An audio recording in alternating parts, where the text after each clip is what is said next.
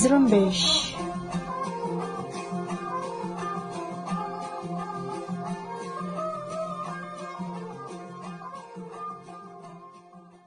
یہ ریڈیو زرمبش اردو کی آواز ہے۔ آج بارہ اگست، بدھ کا دن اور سال دو ہزار بیس ہے۔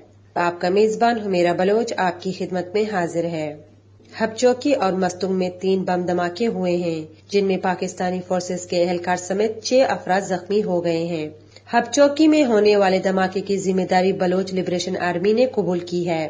کیچ کے علاقے بلیدہ سے جبری طور پر لاپتہ ایک نوجوان کی مسخ شدہ لاش برامد ہوئی ہے، جس کو چند روز پہلے پاکستانی فورسز نے لاپتہ کیا تھا۔ بلوچ نیشن موومنٹ نے جبری گمشدگیوں کے عالمی دن کے موقع پر یورپ میں مظاہروں اور سوشل میڈیا میں مہم چلانے کا اعلان کیا ہے۔ تفصیل خبروں میں سنیے۔ سندھو دیش ریولیشنری آرمی کے ترجمان سوڈو سندھی نے شکارپور اور جیکب آباد میں پاکستانی رینجرز کے ہیڈ کوارٹر پر دستی بم حملوں کی ذمہ داری قبول کی ہے۔ سندھ سجادی فارم کے رہنما سارنگ جویو کو پاکستانی فورسز نے ان کے گھر پر جبری طور پر لاپتہ کیا ہے۔ قابض پاکستانی فورسز نے جموں کشمیر کے تاریخ پر لکھے گئے درجنوں کتابوں کے مصنف پروفیسر سید اسد کو گرفتار کیا ہے۔ چین نے ہانگ کانگ کے معاملے پر امریکی پابندیوں کے جواب میں سینیٹر سمیت گیارہ امریکی عہدیداروں پر پابندی لگانے کا فیصلہ کیا ہے۔ دنیا بھر میں کورونا وائرس سے متاثر افراد کی تعداد دو کروڑ سے زیادہ ہو گئی ہے۔ یہ تھی چند اہم خبروں کی سرخیاں۔ آئیے آج کی خبریں دوست مراد بلوچ سے سنتے ہیں۔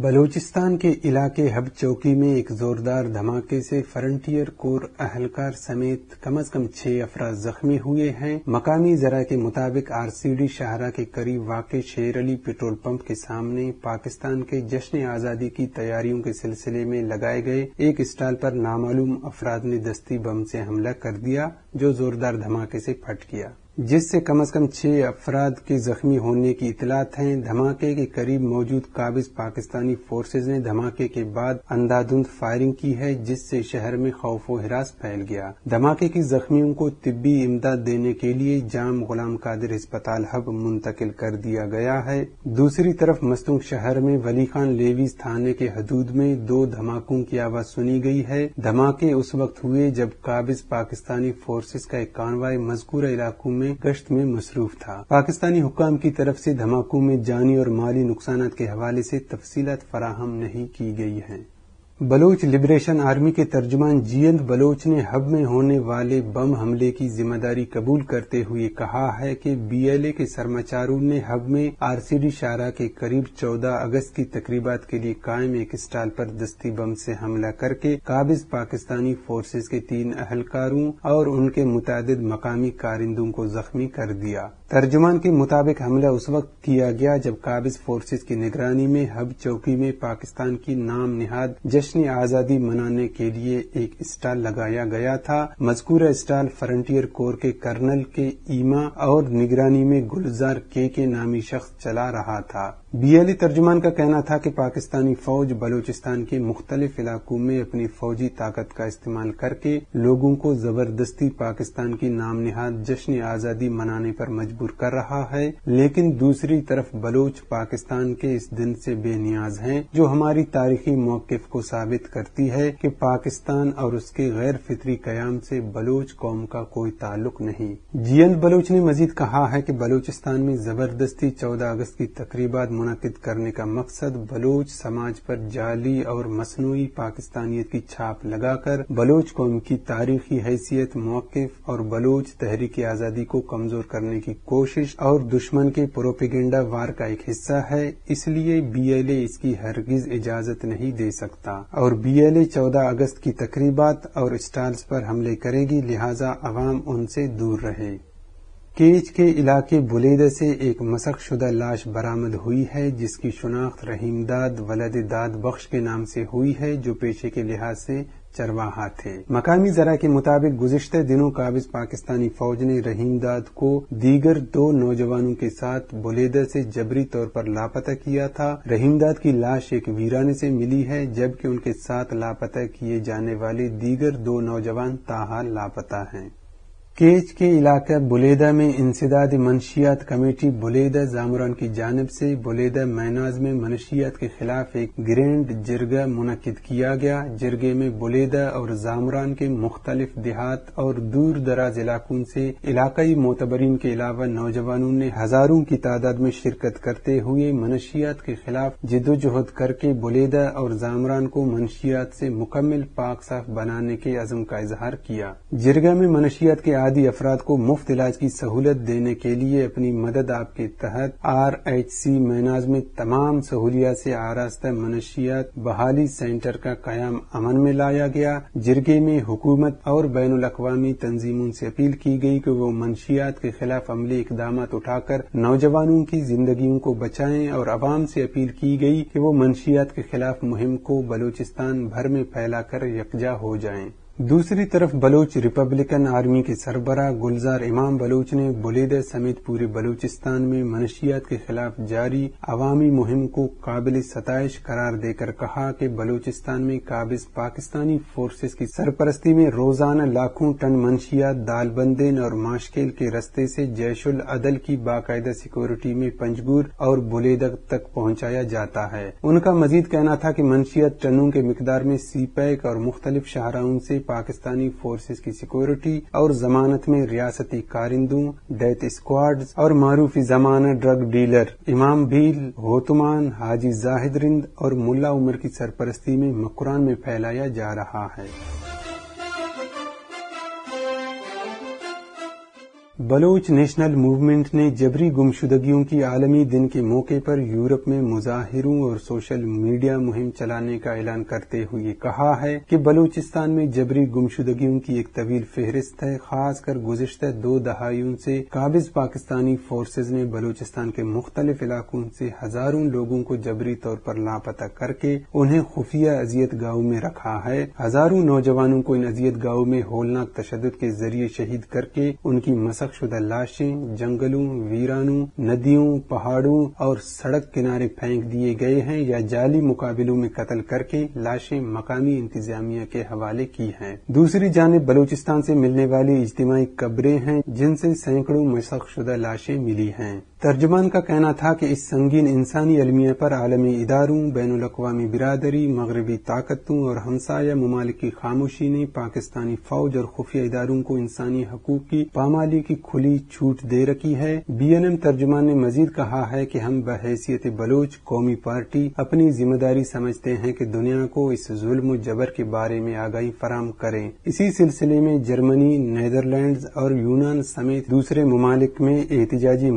مظاہر اور آگاہی مہم کا اہتمام کیا جائے گا، جبکہ تیس اگست کو لندن میں بلوچ سندھی فورم کے تحت ایک احتجاجی مظاہرہ کیا جائے گا، جبکہ سوشل میڈیا پر ڈس اپیئرنسز ان بلوچستان کے ہیش ٹیگ کے ساتھ کمپین چلایا جائے گا۔ سندھو دیش ریولوشنری آرمی کے ترجمان سوڈو سندھی نے شکارپور اور جیکب آباد میں پاکستانی رینجرز کے ہیڈ کوارٹرز پر گرنیڈ حملوں کی ذمہ داری قبول کرتے ہوئے کہا ہے کہ چودہ اگست سندھی قوم کے لیے قومی غلامی کا دن ہے۔ جس دن پر پنجابی سامراج نے اپنی ریاستی جبر و زور کی بنیاد پر ہماری زمین پر قبضہ کیا تھا، لہذا سندھی قوم اپنی وطن کی دفاع کرتے ہوئے اپنی سرزمین سندھ پر کبھی بھی پاکستانی قبضے کو قبول نہیں کرے گی۔ سوڈو سندھی نے سندھی عوام سے درخواست کی ہے کہ وہ چودہ اگست پر پاکستانی فورسز کی جانب سے نکالے جانے والی تمام ریلیوں، مظاہروں جلسے جلوس اور تقریبات سے دور رہیں سوڈو سندھی نے جی اے سندھ قومی محاذ کے مقتول رہنما شہید بشیر خان قریشی کو ان کی جد و جہد پر خراج تحسین بھی پیش کی ہے۔ سندھ سجاگی فورم کے رہنما سارنگ جویو کو پاکستانی فورسز نے ان کے گھر سے جبری طور پر لاپتہ کیا ہے۔ Voice for missing persons of Sindh کی جانب سے جاری کردہ ایک بیان میں کہا گیا ہے کہ پاکستانی فورسز نے سندھ بھر سے جبری طور پر لاپتہ کیے گئے۔ سینکڑوں کارکنوں کی آزادی کے لیے آواز اٹھانے والے رہنما سارنگ جویو کو بھی گزشتہ رات ان کے گھر سے گرفتار کرنے کے بعد لاپتہ کیا ہے۔ بیان کے مطابق سارنگ جویو سندھی مسنگ پرسنز اور سندھ کی سیاسی جدوجہد کی ایک مضبوط آواز بنے ہوئے تھے، جو سندھ سجاگی فورم کی پلیٹ فارم سے سندھ کے تمام سیاسی اور سماجی مسائل کے لیے اپنی پرامن سیاسی جدوجہد جاری رکھے ہوئے تھے۔ Voice for missing persons of Sindh نے سارنگ جویو سمیت سندھ کے تمام لاپتہ افراد کی بازیابی کے لیے سندھ گیر احتجاجی تحریک شروع کرنے کا اعلان کر کے سندھ کے تمام سیاسی سماجی جماعتوں اور سول سوسائٹی سے اپیل کی ہے کہ وہ سندھ بھر میں لاپتہ سندھی کارکن کارکنوں کی آزادی کی تحریک میں ان کا بھرپور ساتھ دیں۔ واضح رہے سارنگ جویو نامور سندھی ادیب تاج جویو کے بیٹے ہیں اور زیبیس کراچی یونیورسٹی میں ٹیچر کے فرائض سر انجام دے رہے ہیں۔ تاریخ ریاست جموں کشمیر پر لکھی گئی درجنوں کتابوں کے مصنف پروفیسر سعید اسد کو پاکستانی مقبوضہ کشمیر کے ضلع باغ میں گرفتار کر لیا گیا ہے۔ سعید اسد کو اس وقت گرفتار کیا گیا جب وہ منگل کے روز ریڈ کے مقام پر تاریخ کی ریاست جموں کشمیر پر لیکچر دینے کے لیے جا رہے تھے۔ سعید اسد کے بارے میں بتایا جا رہا ہے کہ وہ ریاست جموں کشمیر کی حقیقی تاریخ کو نوجوانوں میں اجاگر کر رہے ہیں، جس سے قابض پاکستان کے گزشتہ بہتر سال سے پڑھائی جانے والی مطالعہ پاکستان کی جھوٹی اور بے بنیاد تاریخ بے نقاب ہو رہی ہے۔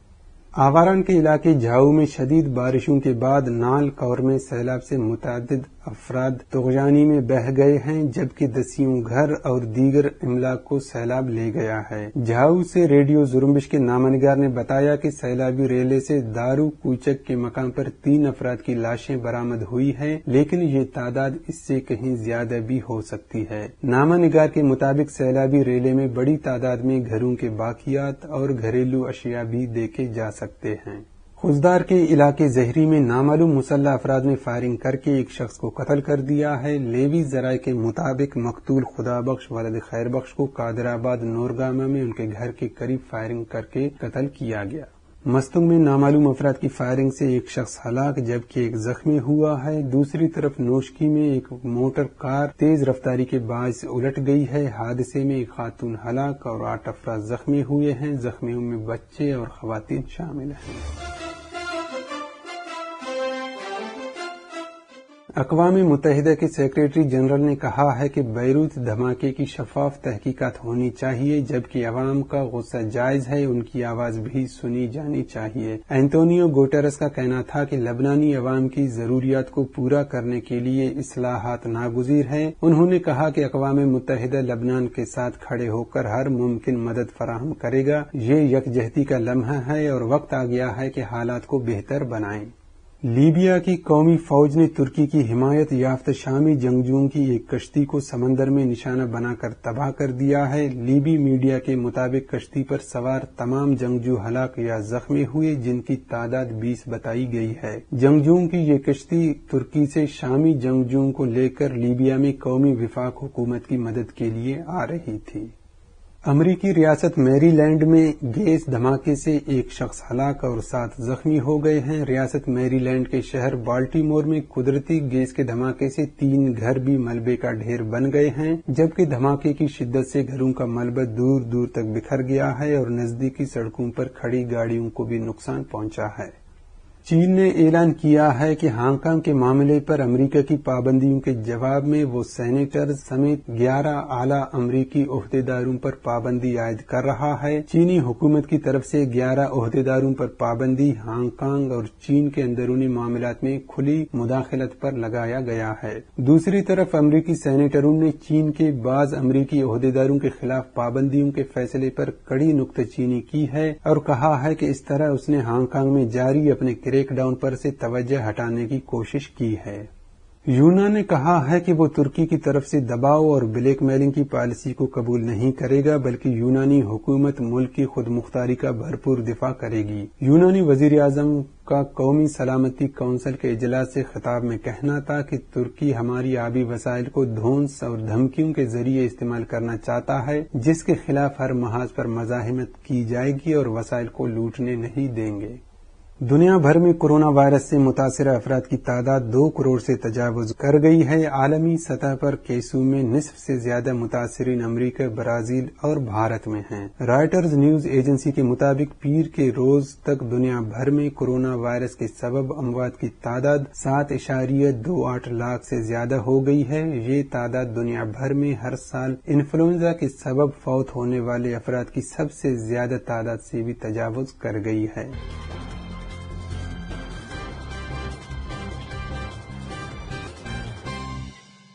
اسی کے ساتھ ہی آج کی نیوز بلٹن کا اختتام ہوتا ہے۔ اپنے میزبان ہمیرا بلوچ کو اجازت دیجیے اور مزید خبروں کے لیے وزٹ کرتے رہیں ہماری ویب سائٹ زرمبش ڈاٹ کام۔